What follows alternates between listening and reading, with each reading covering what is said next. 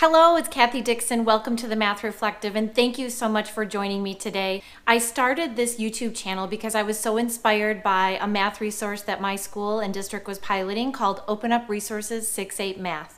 I'm excited to show you this video today because I made it for a couple different reasons. One, to share with you a journey of attending a math conference specifically for a resource that you're piloting. I think that's really unique. And two, for those that weren't able to attend because I know that it's a big commitment and not everyone's able to do it over the summer for either time or district financial reasons. I wanted to be able to share what a little bit of what it was like so that you would be encouraged and maybe be able to attend next year. So I'm very grateful and don't take that for granted that my district was able to support me in going to this.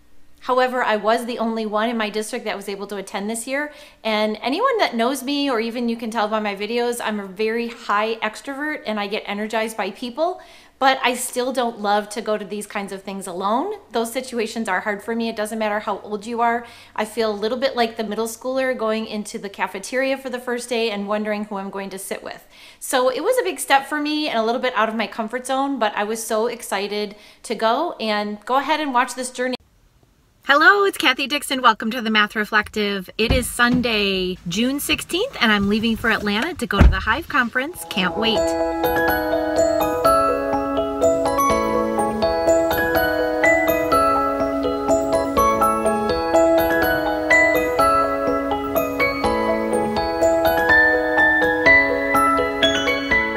Well, here I am at the Omni Atlanta CNN Center Hotel, and I'm on the 13th floor, and this is my room.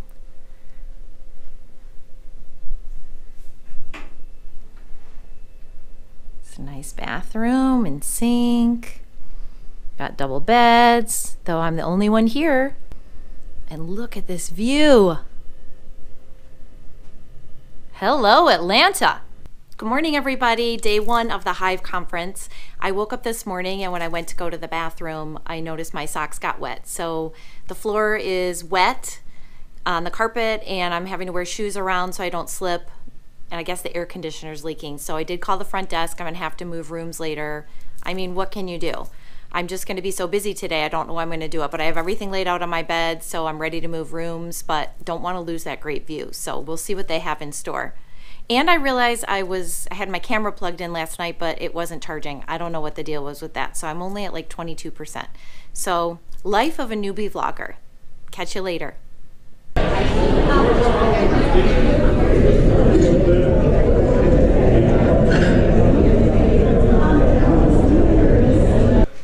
Okay, we're making an anchor chart on using the notice and wonder routine, and we're talking about reminders, adaptations, ideas to try, ahas, takeaways, illustrations, and connections, and how we can use purposeful color with the notice and wonder routine. Sorry I keep looking over there, but it's all written down on a chart, and I don't want to miss it. And I'm making new friends and enlarging my professional learning network, and it's awesome.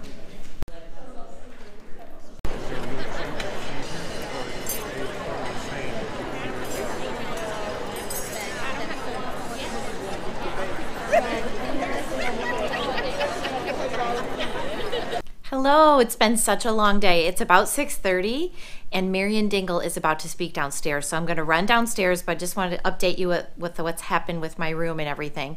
So we didn't get done with sessions till about five o'clock today. And I went down to the desk and I had a little bit of difficulty with the room change, but it's all worked out now. And there, there's an excellent employee for the Omni Hotels that took care of me. And they gave me $60 food and beverage credit and took care of my bags. I'm in my new room now, a king bed now instead of two doubles. And I have the same amazing view. And now I'm on the 17th floor instead of the 13th floor. So excellent experience. And I'm so excited about all the cool things that happened today. But I'll talk about it later.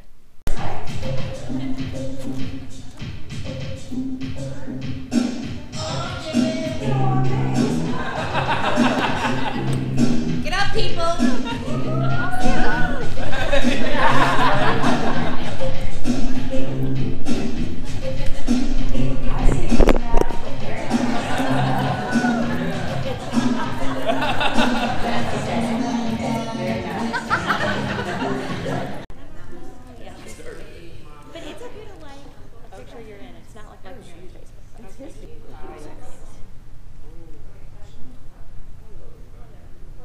Be sure to watch the entire video because there is a part where I reflect on the two and a half days of attending the workshops and sessions. And I have three things that I wanted to talk about as far as the big takeaways. And those are share, synthesize, and shine. So stay tuned so you know what I'm talking about. Good morning, Atlanta. It's Tuesday, June 18th. Ready for another day at Hive Atlanta 2019. Of course, first things first, gotta get some coffee. Well, good morning. I'm all set and ready to go downstairs. I'm going to go get a little protein this morning. Yesterday they had delicious light breakfast with whole grain croissants and peach marmalade, but I need some eggs. So I'm going to go get some eggs first and then I'll be all excited and ready and energized to learn and share more ideas today.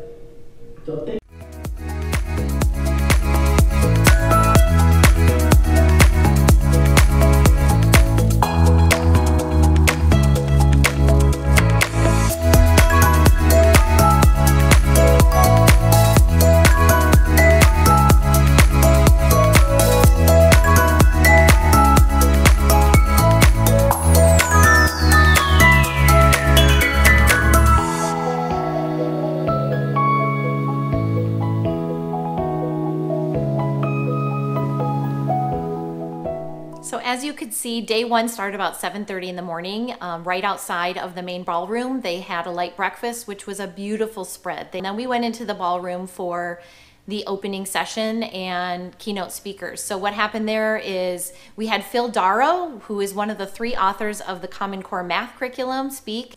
And then we also had Silas Kulkarni, I think I'm saying his name right. He's president of the Teaching Lab, which talks about a different kind of professional learning that's done with students and teachers together, and then they're able to go and reflect, which is something I definitely want my district to look into for us this coming year. I love the idea of professional learning being more like a learning lab and I probably will make a video on that later. We also had Brooke Powers, who's the community manager for Open Up Resources, and she introduced Jessica Sliwerski, who is the CEO of Open Up Resources. So everyone kind of got us inspired and excited and engaged in thinking about how we're going to spend our time in the next couple of days. After the opening speeches, we went into separate rooms. So for the community pathways, we broke up by grade level. So sixth grade stayed together in a room, seventh grade and eighth grade, and those were led by our lead learners, and they were incredible during the three days. During the session before lunch on the first day, we worked a lot on talking about instructional routines and math language routines, specifically the info gap routine, which we feel everyone kind of agrees that that's the most difficult one to do with students and teachers even are a little bit confused by it. So we did a lot of role playing with that. We made an anchor chart with that, and we did a card sort um, about different instructional routines and math language routines. And then we broke out into groups in our sixth grade room, and each group had one instructional routine they were in charge of. And we wrote about different things. I talked about it earlier in the video about all the different ways that we thought about adaptations, ahas, and then we reflected our work on anchor charts all around that room at the hotel. And then because we like to synthesize from everything that we learned and then revise our thinking you, when we use open up resources we walked around with sticky notes and added to or revised or edited the anchor chart. Then it was time to go to lunch and i you know had a table that i was sitting with but i didn't really follow anyone out. I just kind of followed the mass group and Everything for lunch was set up beautifully. The hotel did a very efficient job. They had several stations of food and they got people in lines quickly. And within 20 minutes, everyone was sitting down and eating. I thought that was very well run. And the food was, oh my gosh, it was delicious. A lot more food than I would have anticipated. The first day was a fajita style buffet. Of course, everything had some southern flair to it. So there was definitely way more than enough food. And there was always a special dessert each day. The food was fantastic. And they already had iced tea at the tables. And then you could ask for water. So it was very, very efficient. Well, I kind of looked around and sat at a table where I saw um, different groups of people sitting and met some really wonderful teachers, some with ELA, some with the math portion. And then a woman sitting next to me says, she kind of nudges me and she says, I think that guy that just sat down at our table is the one who spoke this morning. And then I look over at him, and yes, it's Phil Daro who sat at our table. I mean, I felt like I was meeting a math celebrity in a way. I could have stayed and talked to him during the whole lunch. So, bottom line is sometimes you get blessed when you don't know anybody and you go sit at a random table because then you have somebody like that with all that experience and wisdom about teaching, about rigor of curriculum.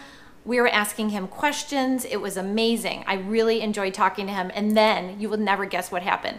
I was starting to tell the table about how much I've loved this resource and how I started a YouTube channel. As soon as I said YouTube channel, he pulls out his phone. He goes, Oh, what's it called? And I thought he was looking it up. Well, later, I saw that he had subscribed to my channel. I'm going to put the little graphic up here. Phil Daro subscribed to my YouTube channel. Now, it was a great day just because of that, but that was only lunchtime. So then after lunch ended at one, I think we had an hour for lunch, we went back to our session um, with our community pathway. Part of the afternoon was set up for an ed camp style session, and that's basically where teachers sign up to talk or do like little mini presentations and then, so what they did at Open Up is they put an anchor chart there at the beginning of the day and they talked about it. And they said if anyone has anything to share, to sign up and put a title, you can either choose to do it in front of the whole group or you could do it in small groups. And we had also gotten an email about that too. So I did prepare a little bit. It said you didn't have to have slides. I put a couple slides together. I had asked one of my colleagues for an idea of what she thought I should share. I had written down for a small group presentation standards based grading and cultivating conversations with open up resources, thinking maybe I'll just casually talk to a couple different people.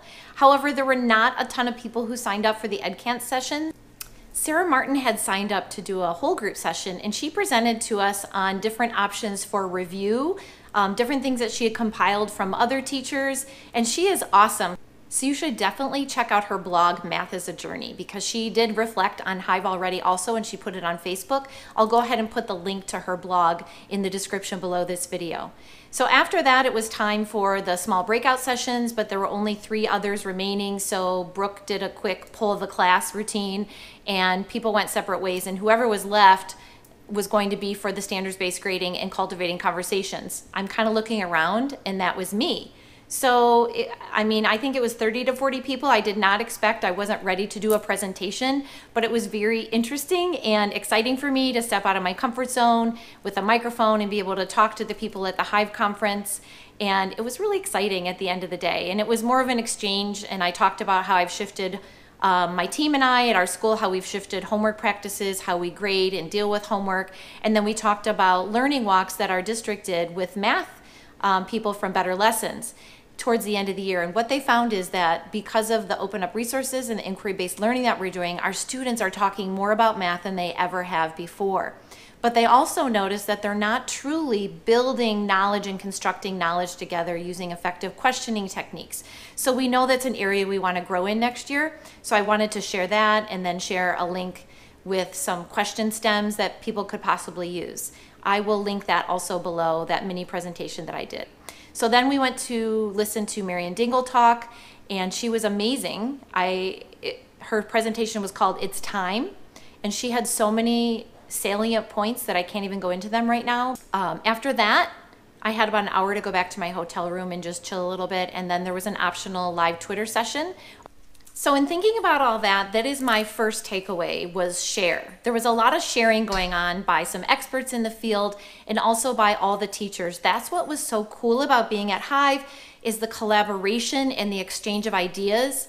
And it's easy to when you're in a room like that and you start talking about, "Oh, I do it this way, I do it this way," to feel like oh wow i'm not doing it right or this is better or is the way i grade wrong and i think brooke powers did a wonderful job of reminding us like these are topics that we could debate and discuss and come up with all different ways to do things that we're already doing great work. We don't need to feel bad about how we do something, that we're all working really hard for our students, and that we need to keep that at the forefront of our mind. So, the sharing was the first big takeaway. After lunch, we dug deeper into synthesis and what that part of the lesson is supposed to be like. And after listening to Phil Daro talk about it a little bit in his opening speech, and then dive deeper in the community pathway session, I think the takeaway we all took was you cannot skip the synthesis. It's almost better to skip the cool down over the synthesis. And Brooke put it in such a great quote Um, I believe I tweeted it out about how skipping the synthesis is like skipping at the end of a movie, at the last 15 minutes of a movie. And then the next day, we watch a whole different movie. And even though it's on the same topic, it's a different movie. And we never finish the other one. So, teachers, if there's anything I can pass on to you, it's don't skip the synthesis. And also, another thing I learned was that there are different types of synthesis. And if you pay closer attention, or if you pay close attention to the way it's worded, you can kind of pick up on that. And I think that's something I want to focus on more next year with my team is how can we really do a better job with the synthesis. Okay, now that takes me to day two of the conference. So on day two, we went really deep into the five practices we watched a YouTube video by a professor whose name is Dr. for Kristopher Childs, and he has his own YouTube channel called Mathematics Mixtape Series. You've got to check it out. I will put that link down below. And he does a he's a real cool guy and he talks about the five practices and how important they are. And we definitely went through that deeply and we worked with a partner on a task and we worked on really analyzing the five practices, anticipating how students would respond and their different representations. And the best way to do that as a teacher is to do it yourself. So we went through that, and then Martin projected different methods um, up on the screen. And one cool thing that he did was he talked about how putting the child's name next to the representation. So if we're writing it on the board or we're displaying student work, putting their name there so that they have that ownership. And I have to admit, when he put up the method that I was using and he wrote Kathy next to it, it made me feel really good inside. So that's a great tip too that I'll take away from this conference. So as we were filling out, we had a graphic organizer where we were trying to come up with pocket questions. Like if a particular group of students were struggling, what kind of questions could we use to prompt them to dig a little bit deeper and continue on with whatever method or another method? And then also students that were doing certain methods successfully, what kinds of questions would we get them to do to synthesize what they were doing? That was challenging and really good work. And what we what came out of that is documents that hopefully Brooke now will be able to look at and and possibly revise a little bit. And then the hope is that she's going to be able to add them to the community resource link that's at the bottom of each lesson. So we worked on different tasks and for sixth grade for our group, but the other groups, the seventh and eighth grade group, were working on tasks as well for specific units and specific lessons. And hopefully now those will become a working resource for others to use. And that is what's so great about this sharing and this collaborating. We've got the Facebook site, people joined Twitter for the first time over this conference. It was just really exciting, and you felt like you weren't alone. And things that are really difficult and a struggle but worth it, it's so much better when you're doing it and you're not alone. Later in the afternoon on day two, we had another question and answer session. So people were really able to either write down questions, um, share ideas, or ask questions right then and there on the spot. And that was really helpful. I felt like we could have gone on and on with that all day after the second day i think we might have finished about 4.30 and then we had a little bit of time to ourselves and then there was an event at night. So there was a cocktail and hors d'oeuvres reception and that was awesome. That was from 6.30 to 8.30 and that's when i walked around as the math reflective and did a little bit of interviewing that you'll see next in this video. All right so my three takeaways again just to review were share. I think i've covered that. Synthesize synthesize synthesize. Couldn't say that more and then the third one is shine. And that was a message given to us by Jessica Reid Sliwerski, the CEO of Open Up Resources. And it was awesome because I think what she meant by it is that we're already working really hard and we are shining for our students. We're collaborating, we're sharing, we're synthesizing what we learn, we're talking to other teachers all across the country. You know, we're committed to this work and it's hard work and it's rigorous and sometimes we're frustrated and we feel overwhelmed and we have so much on our plate but we continue to shine for our students.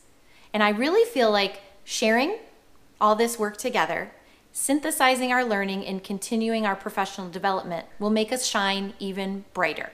And that was the third message. So share synthesize shine Okay, I actually have one more really important takeaway for those that are going to attend Hive next year.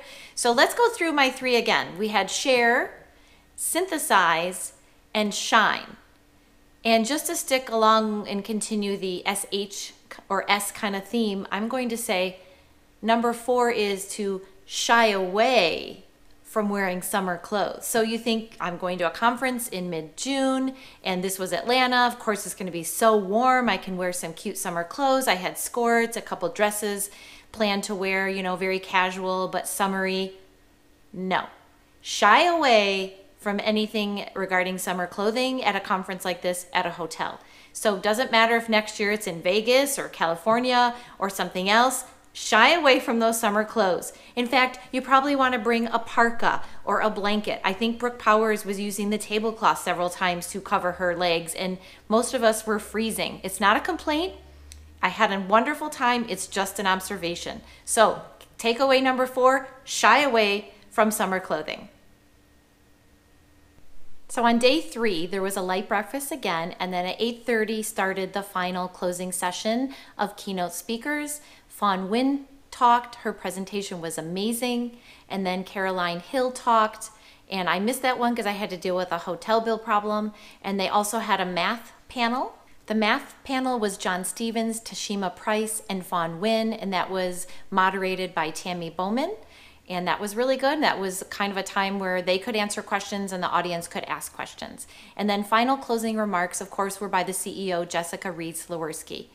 I left feeling very happy, very fulfilled professionally, and I'm ready to go. I'm excited about thinking about all this and reflecting on it over the summer. Well, that's it for my three main takeaways. Next, I'll show you some interviews with some people at the reception the night before we left. I started, okay. Take two. All right, one of my favorite highlights here from Atlanta at the Hive is meeting all of the new math people and engaging with them and having new people across the country. And then also, I actually just started my first Twitter account.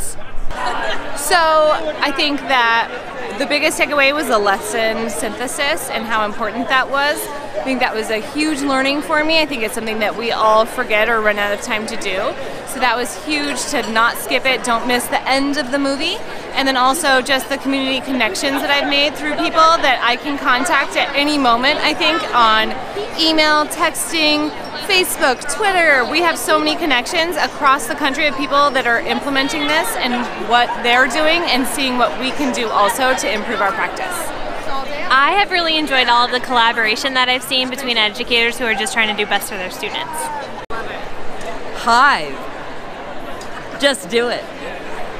So before I came on this trip, I said to myself, man, if there's one thing I really need to learn about, it's how to synthesize better.